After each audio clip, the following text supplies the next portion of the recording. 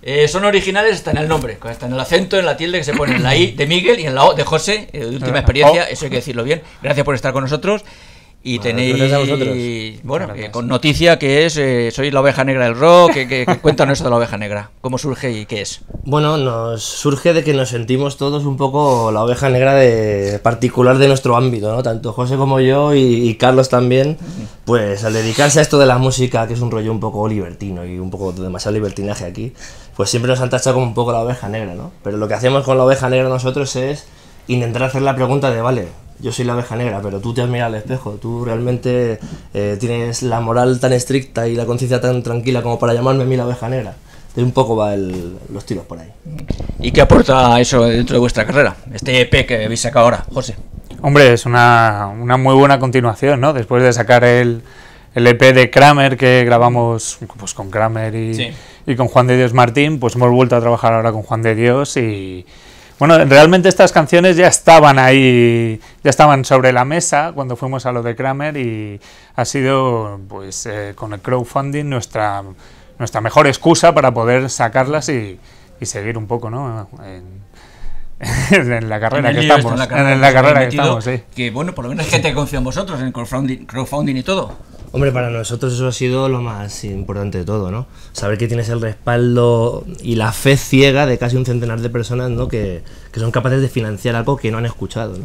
O sea, para nosotros ha sido, aparte de una maravilla, una responsabilidad también de hacer las cosas muy bien porque, porque sentíamos eso, el calor y el apoyo no moral, sino con tarjeta de crédito de por medio de la gente, que eso es un, es un gran poder, pero una gran responsabilidad, como dicen los de Marvel. Un agradecimiento brutal. Un agradecimiento brutal. Es lo que sentimos ahora mismo. Estamos, estamos flipando.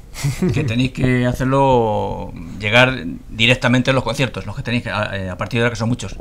Sí, claro, no, hombre, esto a partir de ya está a la venta y ahora le daremos difusión en los conciertos en nuestro repertorio, por supuesto, y la gente que quiera tenerlo físico LP también en, en todos esos conciertos que, este- que empezamos ya. Y en Le- vuestra página. En nuestra página web, por supuesto, en el Facebook, que es Última Experiencia, en el Twitter, que es arroba ultimaex, en, en todas las redes sociales, amigos. Seguidnos, buscadnos.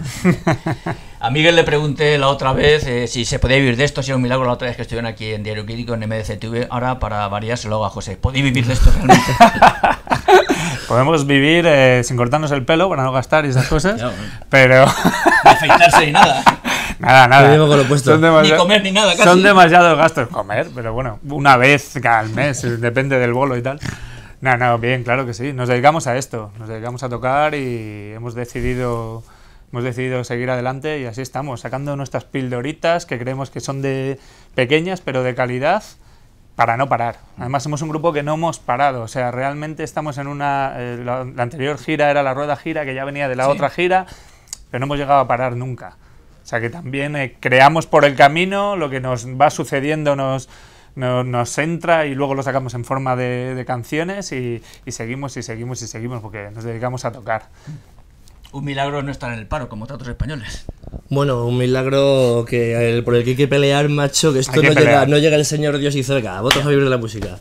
Sino que tienen un currazo detrás espectacular y, y también porque, aparte de Última Experiencia, tenemos otros proyectos que también nos, nos llenan un poquito la sartén, o sea que... Y las arcas, Y las arcas, claro, el calcetín, el Hay que calcetín. pagar facturas y...